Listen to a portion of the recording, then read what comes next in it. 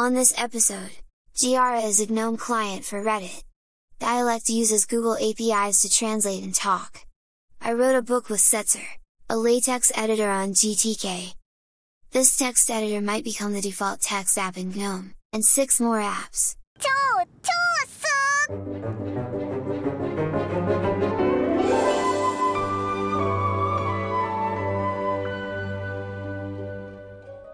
I wasn't sure if I should pick this application just yet, because currently it is extremely slow and extremely buggy, but I will do anyway because it's the only Reddit client we have.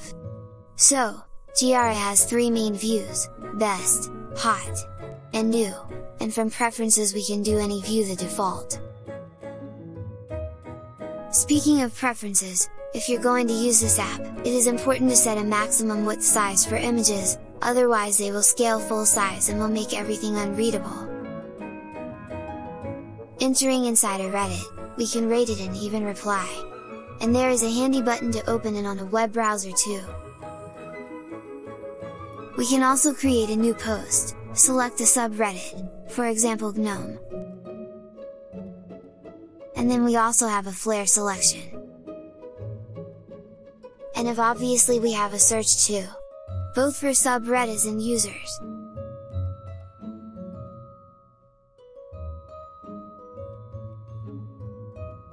Of course such application doesn't make much of sense on the desktop, and it isn't even created for the desktop. So if you own a GNOME phone, this app is mobile friendly. Although developing phone apps in Python is a terrible idea, could be like 20 times slower than Rust apps.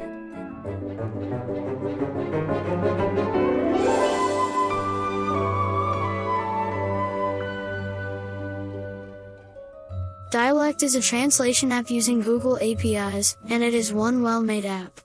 Take a listen. こんにちは、元気ですか And did I mention that it also has a phone mode?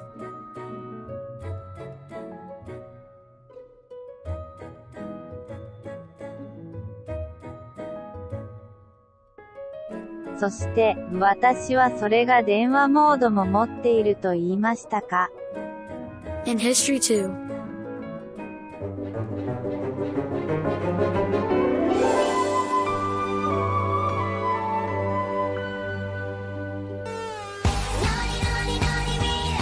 You know what's coming already, but let's do it one more time.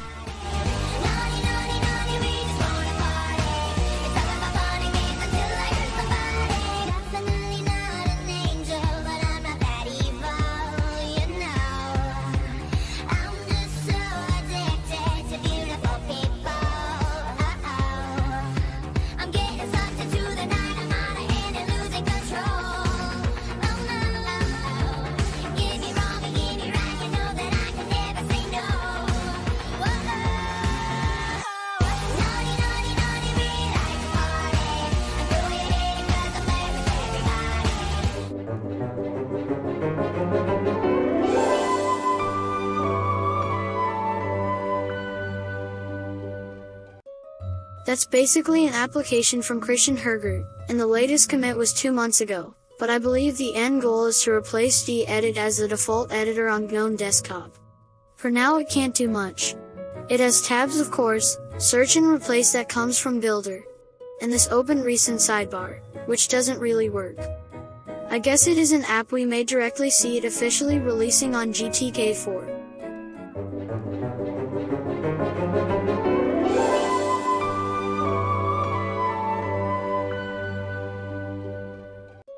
That's one more application similar to Komikku I've done a dedicated video already.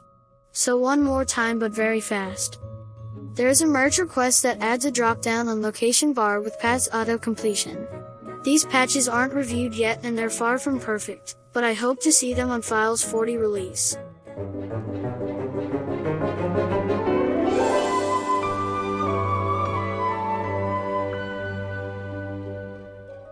Font Downloader is an app that helps us to quickly download fonts from Google. It has a search, it has a dark theme and types filtering.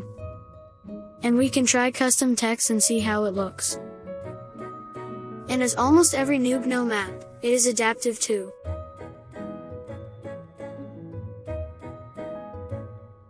but for some reason the animations get laggy. By the way we can set a custom download location, and we also get indicators for the already installed fonts.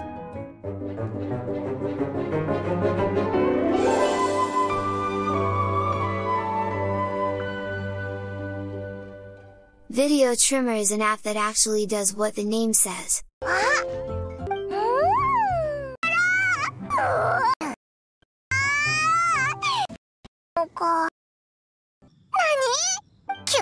It could be kinda useful in desktop, but it is really made for phones.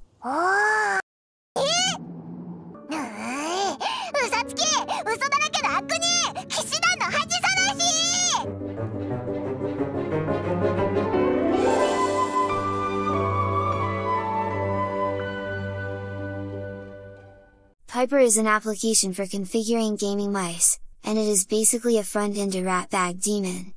So together with the Flatpak app, you also need to install the Ratbag library and start the dbus daemon. Unfortunately I can't run this app, and basically there isn't even a point to run it since my mouse isn't supported, but because it could be very useful to a lot of people, I want to showcase it anyway. So it basically looks like that, and you can check on supported devices here which is mostly Logitech mice.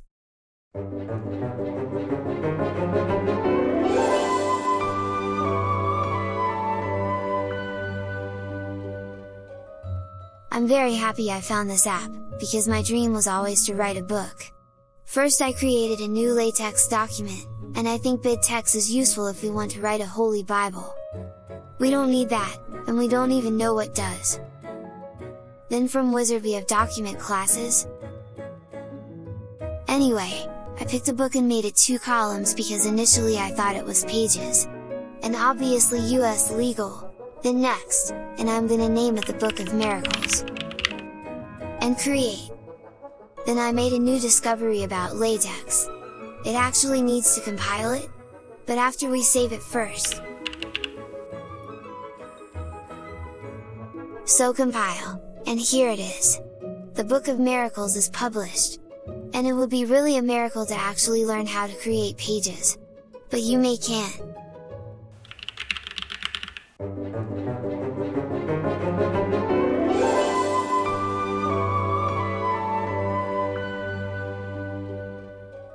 That's GNOME Sound Recorder 3.38, that I haven't seen before, but I remember the previous versions weren't any good. But this one is pretty okay. First, from options we can choose the audio format. And our second choice is to select stereo or mono. My biggest complaint is that we can't do a desktop audio record though. Then, we can just press record to start recording, and by the way notice how header bar is getting hidden. Then we can press stop, set a name if we want, and save it. And what's really nice on this app is how fast we can create multiple recordings, and listen to them later. And again that's one more app we can also use on phones. So that was everything for now, and don't forget to write down your picks for next episode. You know the drill, no maps with active development, available as Flatpak, and I'm mostly interesting for new releases and cool updates. And if you like this video, don't forget to dislike every Ubuntu video, except those who blame it of course. But I really don't understand what Nick means that Ubuntu hasn't any vision, and I think they're just resting on their laurels now. They are contributing to GNOME, they're helping improving it, but they don't have any big focus, any big vision. But you're so wrong, Nick. Ubuntu has a very clear vision,